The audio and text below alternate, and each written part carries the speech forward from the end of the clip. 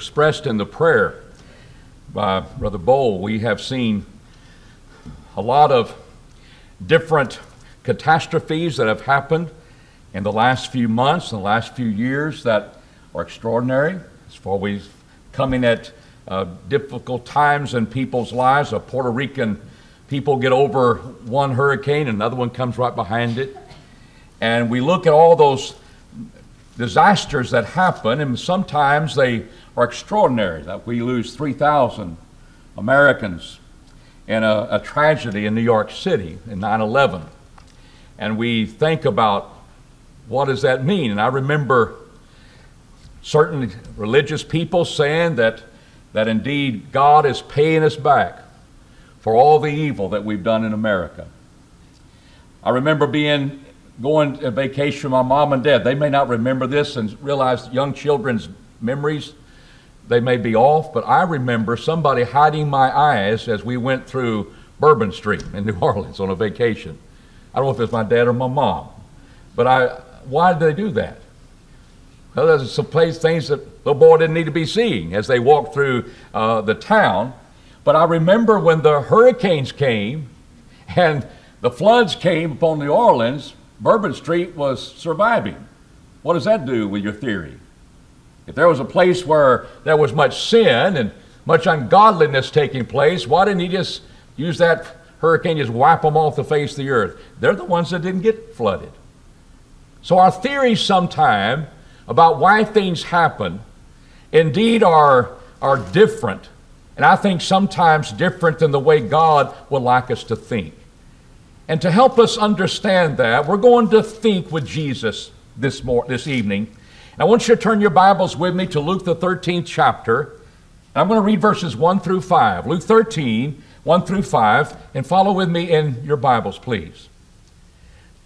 Now, there were some present at that very season who told him of the Galileans whose blood Pilate had mingled with their sacrifices. And he answered and said unto them, Think ye that these Galileans were sinners above all the Galileans because they have suffered these things? I tell you, nay. But except ye repent, ye shall all in likewise or like manner perish. Are those 18 upon whom the tower in Siloam fell and killed them? Think ye that they were offenders? Above all, the men that dwell in Jerusalem? I tell you, nay. But except ye repent, ye shall all likewise perish.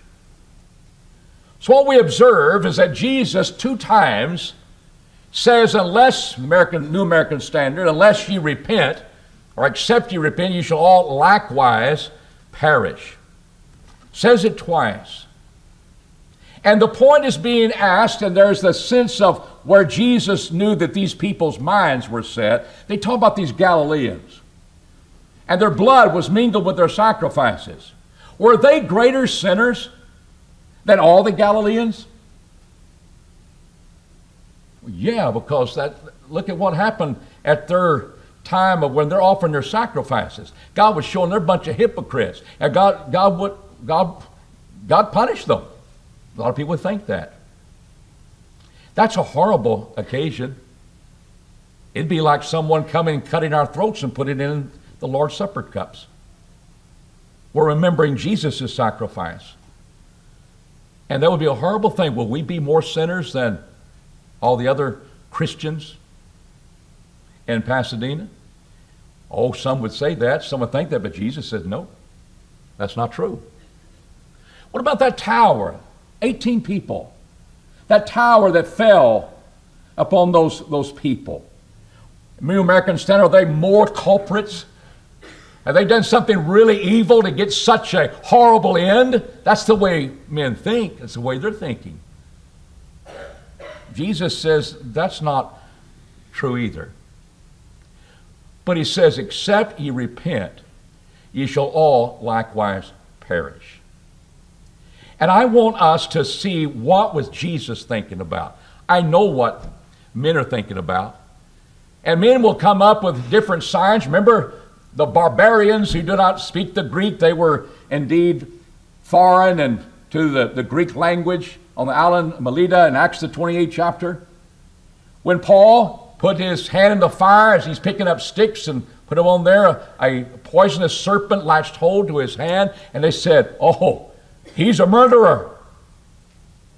Because that snake has latched on his hand. He's a murderer. He escaped the sea, but he can't escape justice.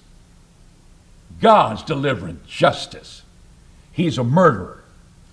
And when Paul didn't immediately drop dead, and when Paul's hand was not even swollen, they said, He is a God. They missed it in both camps, didn't they? He's not a God, and he wasn't a murderer. So much for your thoughts about how things work in this world. If he'd have dropped dead, it's oh, he's not a God, he's a he's a murderer.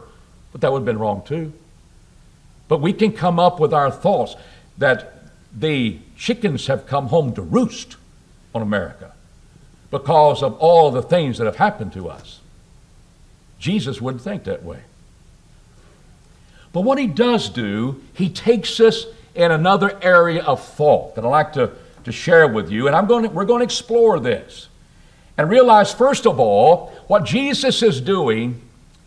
Man is looking at the extraordinary end of these people, of, of Tower and Siloam falling upon them. While they're worshiping, their, their, their blood is mingled, the Galileans, their blood is mingled with their sacrifices. And men are they are looking at the extraordinary end. This is so different and extraordinary. There must be some meaning to that. God is working something extraordinary to bring home a message. Jesus said that's not the way to look at it. Jesus is looking at ordinary sin. Because notice how he uses the word all. I know it's limited by context, but let's limit it by context. Notice what he says about and uses the word all. That he says in verse 2 Unto think ye that these Galileans are sinners above all the Galileans because they've suffered these things? He doesn't put just a few, he puts all the Galileans in there. Do you think that these indeed are sinners above, that they got this extraordinary judgment upon them? That all the Galileans, he includes them all. I tell you, nay, except ye repent, ye shall all and likewise perish. You're all going to perish if you don't repent. Are those 18 upon whom the tower in Siloam fell and killed them, think ye that they were offenders above all the men that dwell in Jerusalem? Notice the word all. I tell you, nay, except ye repent, ye should all likewise perish. That's encompassing everybody. And so I need to understand Jesus is looking at where sin leads people if they do not repent. All shall perish unless they repent. That's what the Bible teaches. In Romans, the third chapter, in verse 10, we read about Jews and Greeks, and you can't be anything else. You're going to be a Gentile or you're a Jew, as we see here in the New Testament. And he says, What then? Are we better than they? No, we in no wise, for we before laid the charge that, that both of Jews and Greeks, that they are all under sin. All under sin. As is written, there is none righteous, no, not one. All is, has the context. No, not one.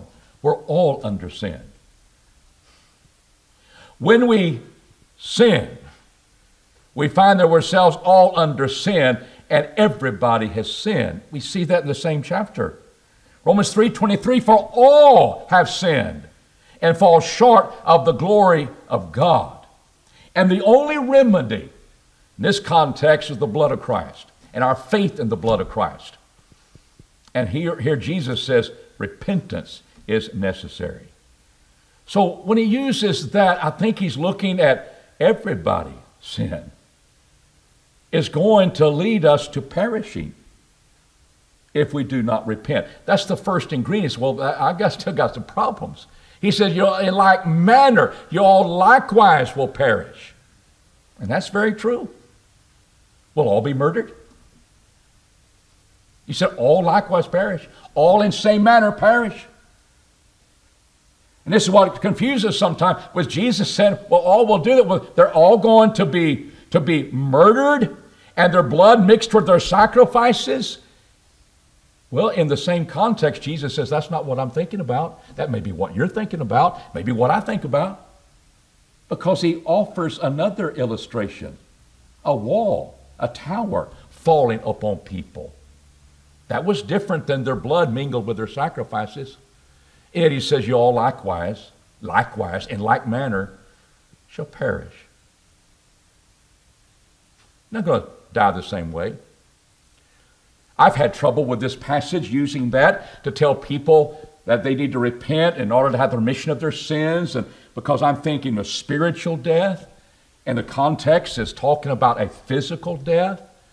And I've had trouble say, well, I don't think I can use that, that passage to talk about either, uh, you know, re- repent or perish. And yet we find it in a lot of Bible helps when we're trying to teach people the gospel. Use Luke 13, 3. Use Luke 13, 5. I said, no, that, this is talking about dying physically. And we we need to repent or we're going to perish uh, uh, spiritually. And, that's, and I said, well, this must not be talking about that.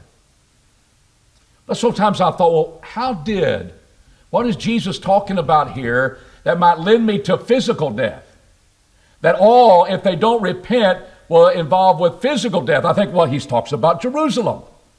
The Tower of Siloam fell upon them. You think all that are not in Jerusalem going to, you know, these greater sinners, that all that are in Jerusalem?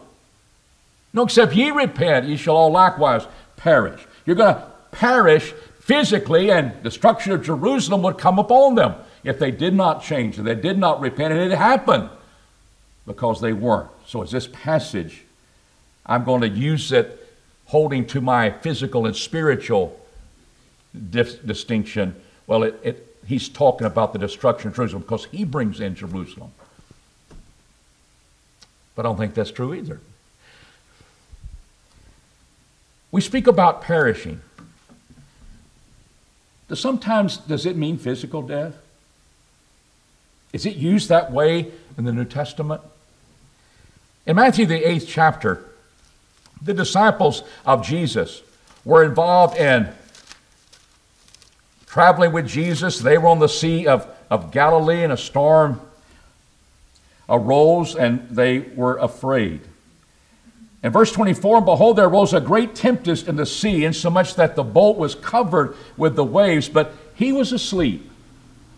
And they came to him and woke him, saying, Save, Lord, we perish.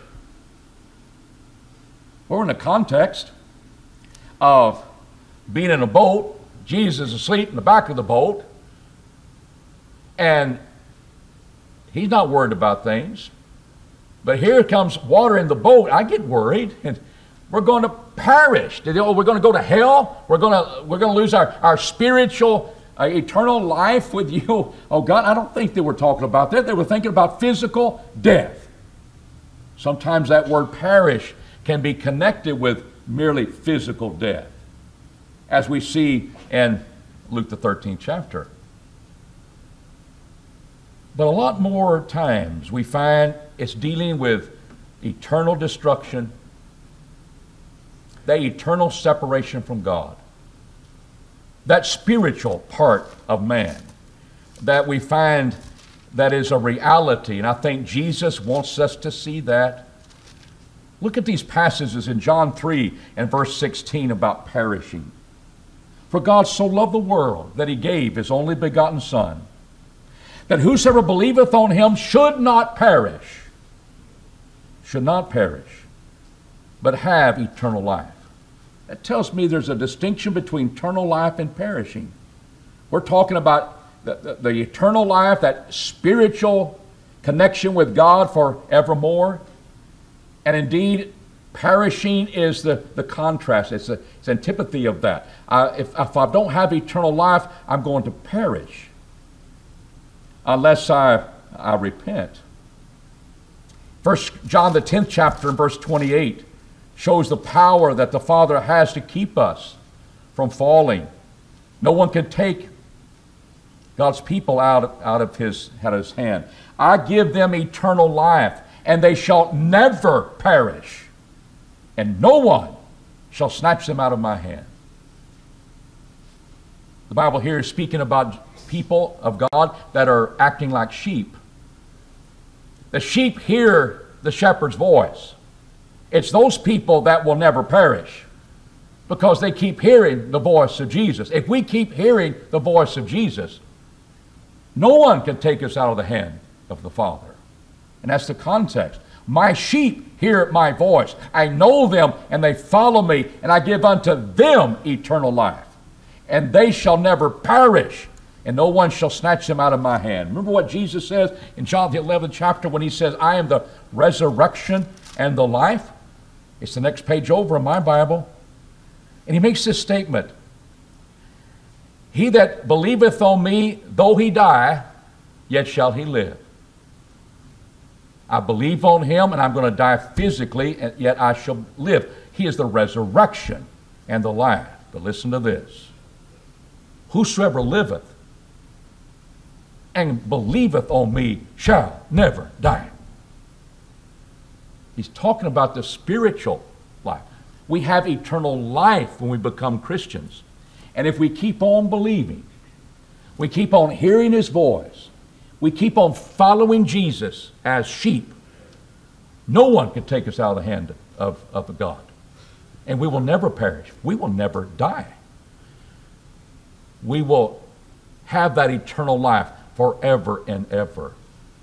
We're talking about the glorified state of the Christian, which is more than just dying physically.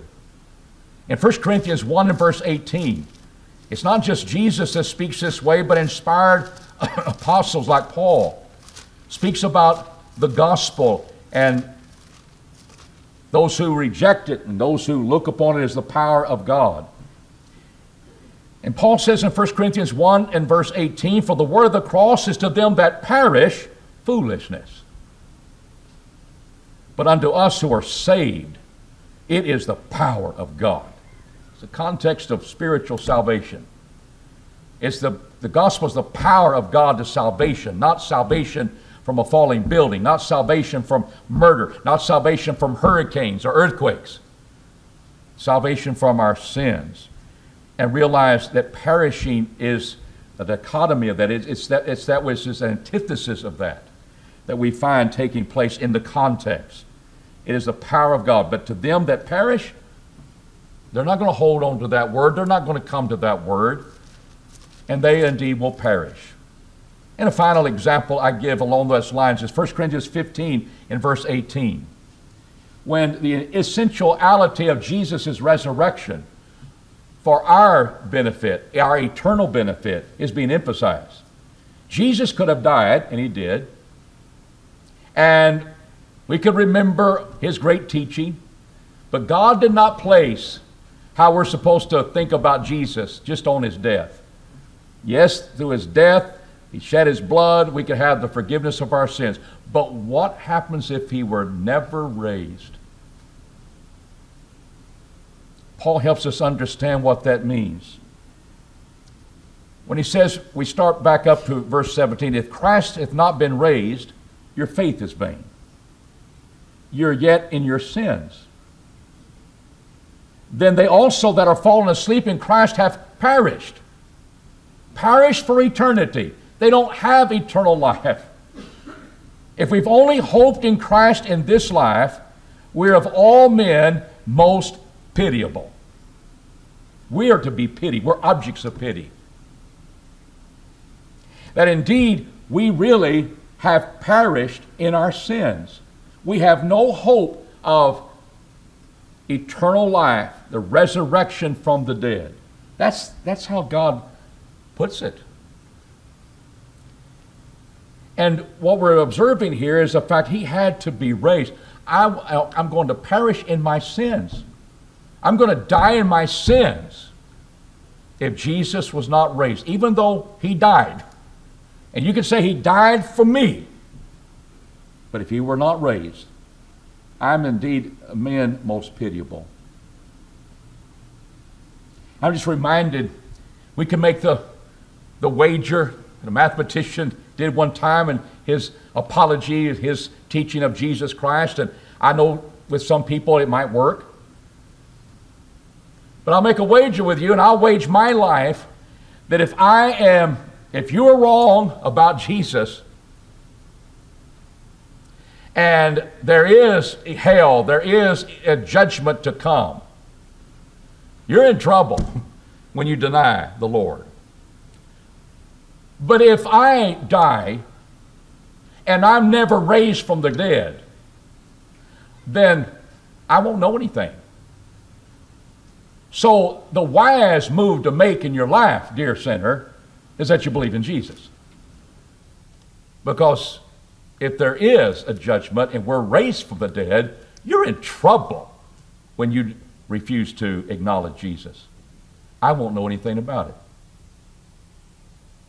And that might sound good to people. Say, well, I'll just, what is the best, what's the law of averages? I probably need to go this route. If that's why you go with Jesus, I think you're a man most pitiable. If I've only hoped in Christ in this life, and when I die, there's nothing future for me,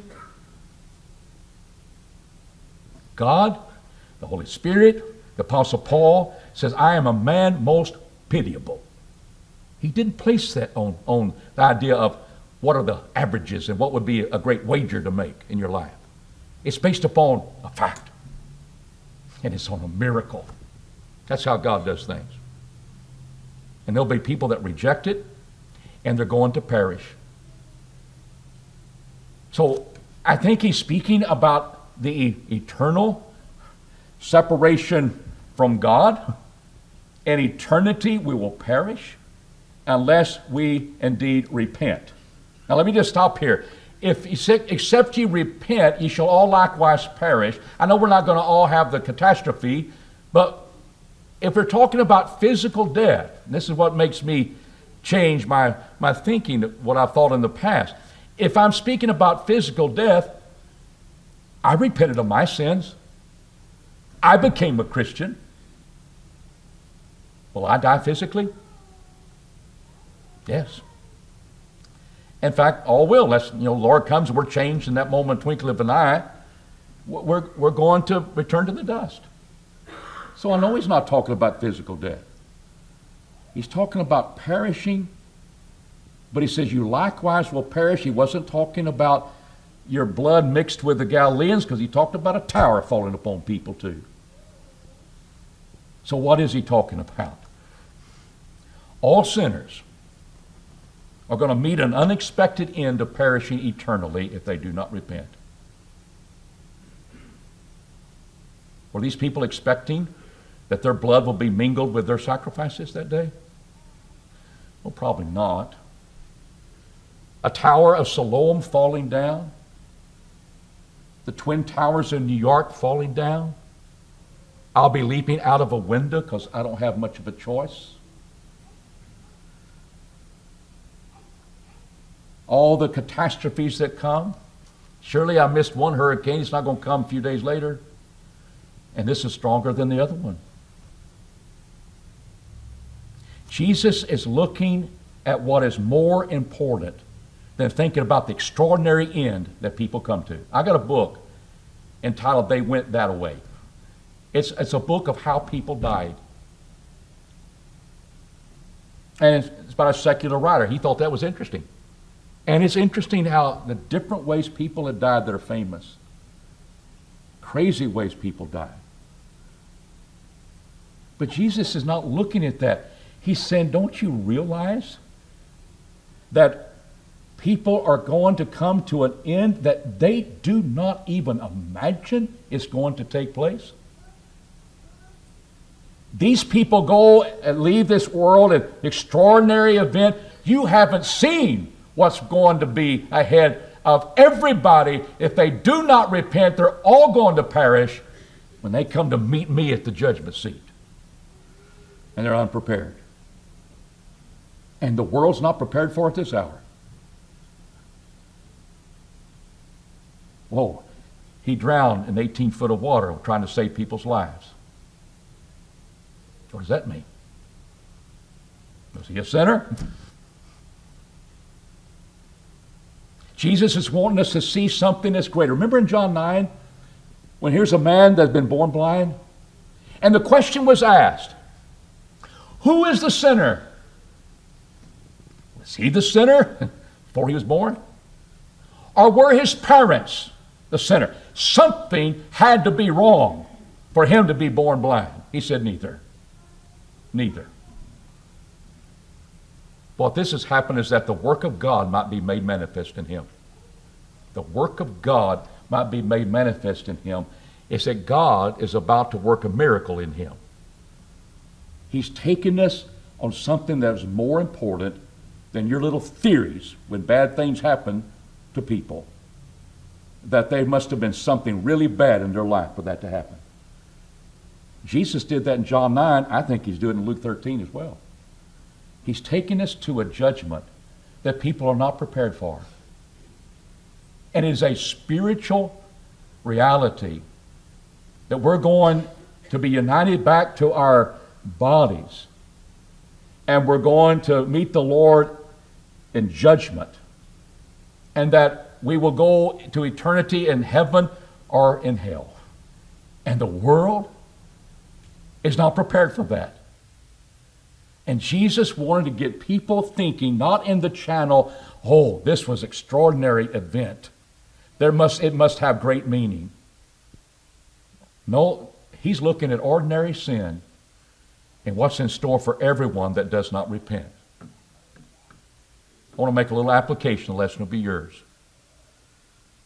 We should warn all about what is ahead of them because they don't know what's coming.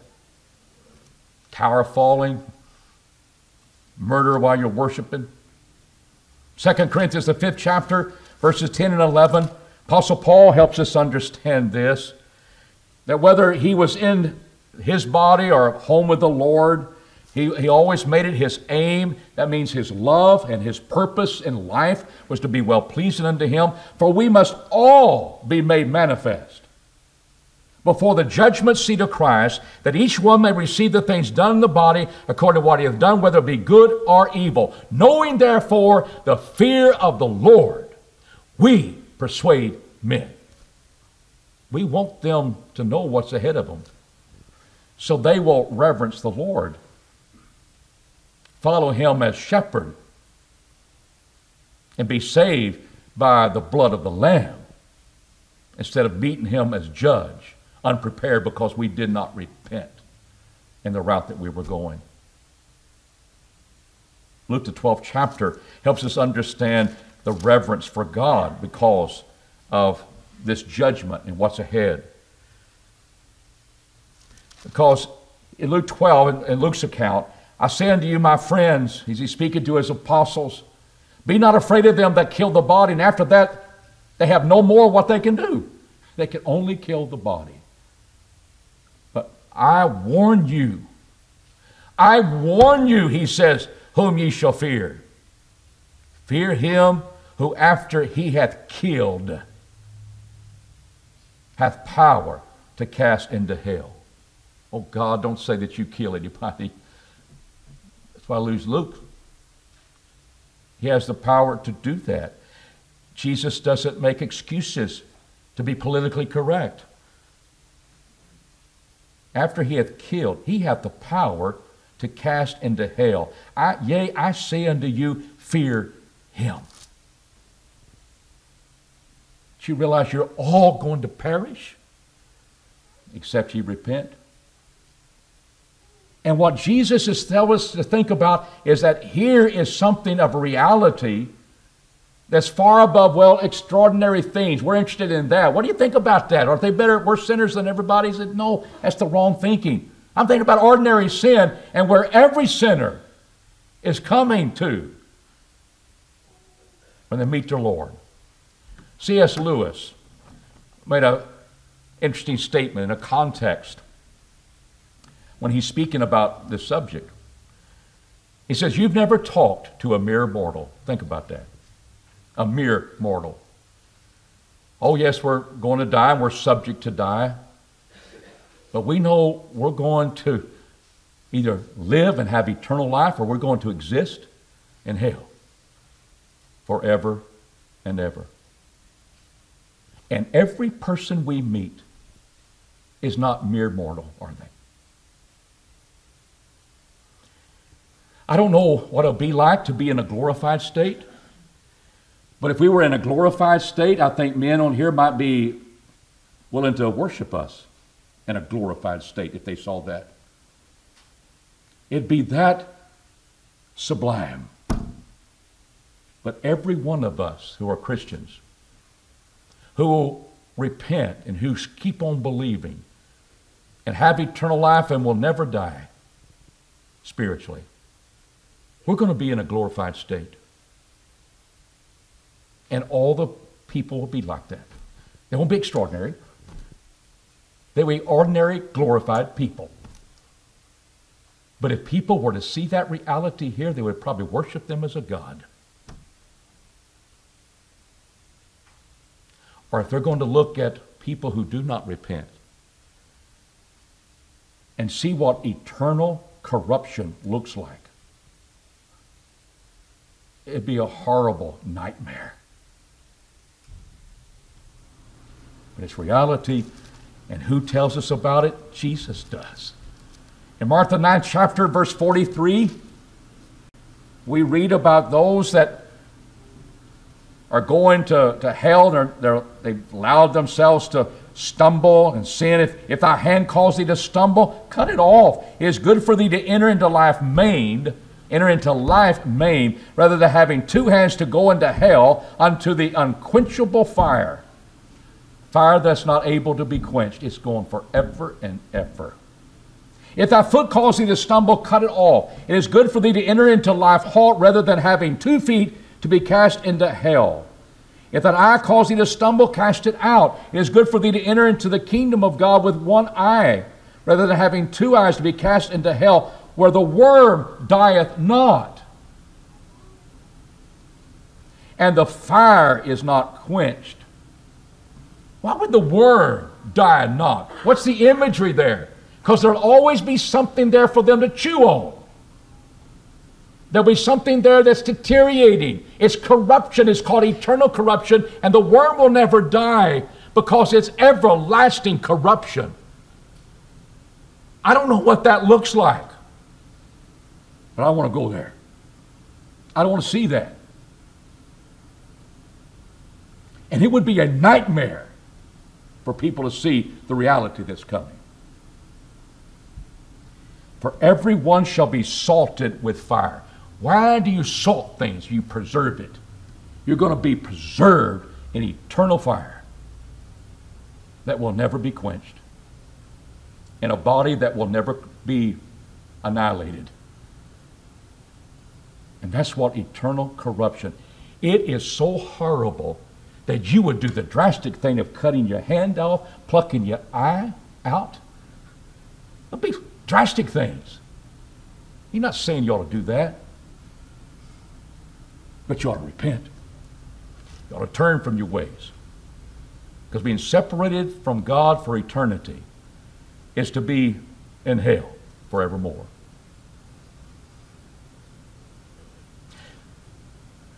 I've known people, guys that I've worked with, that if they thought they were going to be raised up to be annihilated, it's like that. Body's going to be raised up from the grave, and we're going to go to hell. And what hell is is just everlasting uh, annihilation. I'm going to, I'm going to be, I'm going to perish, and there'll be nothing that we've been talking about that's going to keep on corrupting. I know some guys like that that would choose that rather than be a Christian. They don't want to go to heaven. They don't want to be with God's people. They don't want to be with God's people here. They want to do what they want to do. And if they can live their life doing what they want to do with all their sins and not repent, and if that's what's ahead of them, they will take it. They'll take a little pain for a moment and then be annihilated. They'll go that way. But to talk to them about everlasting punishment, where you're going to exist, not live, but exist for eternity, cast out into outer darkness, and you're going to still be there, that's a fearful thing.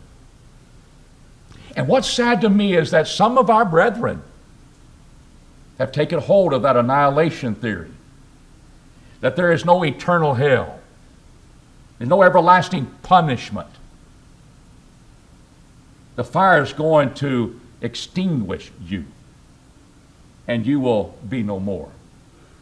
They've taken hold of that. And I think they've taken away a little bit of what Jesus wants us to know that will drive us to try to teach others. We persuade men because we know we'll stand before the judgment seat of Christ. And we'll have to give answer of what we've done in the body. When you speak about outer darkness, one writer in his teaching about there's no eternal hell and fire and, and will people be in hell burning forever and ever.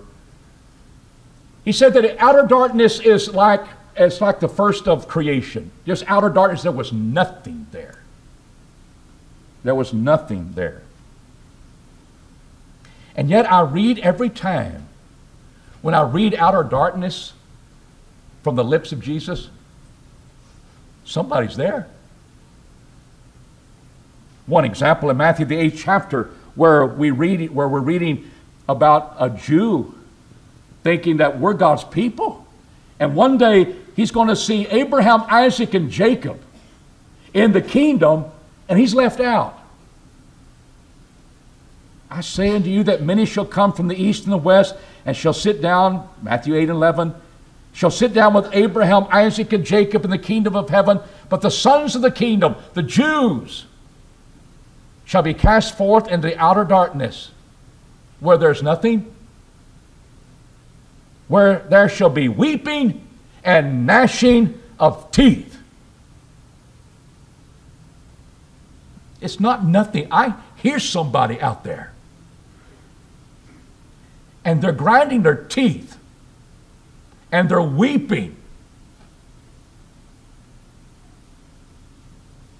Because they are now experiencing something far greater than the Tower of Siloam falling upon them. And they weren't extraordinary sinners, they were ordinary sinners. Jesus wanted us to look at that. You have never met a mere mortal. That person that checks you out at the grocery store, that person that takes your bill and does your work, uh, whatever, you interchange of, of money and banking, person that waits on your table at a restaurant, those people are not mere mortals. They're going to eternity. And Jesus wanted us to see don't be thinking, well, if something really bad happens, then there must be real bad sinners. No. Look at the sinner that's going to the judgment unprepared. Except you repent, ye shall all likewise perish. That's what Jesus is saying. And finally, what it tells us is that all need the saving gospel. Paul in Thessalonians sets forth that Jesus died for all. Therefore, what? All died. And those that live should no longer live to themselves, but to live for Jesus who died for them. He died for all because all are dead in their sins. And they think, well, I'll just die physically and that's the end. No. It's just the doorway into what is going to be horrifying. And who's going to warn them about that? Well, preaching the gospel of Christ and preaching to the dead the gospel of Christ. We'll do that.